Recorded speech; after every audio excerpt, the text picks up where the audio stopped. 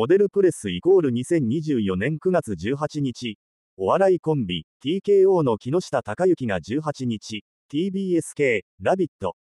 毎週月曜から金曜朝8時にサプライズ出演。視聴者からは驚きの声が寄せられている。ラビット、TKO を木下登場にスタジオ騒然。今回の放送では、二人っきりエレベーター選手権という企画を実施。エレベーターで出会った有名人と二人きりになり、気まずい空気を回避しながら60秒を乗り切るというチャレンジとなっている。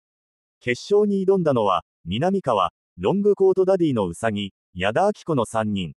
決勝では、木下が登場すると、スタジオからは驚きの声が。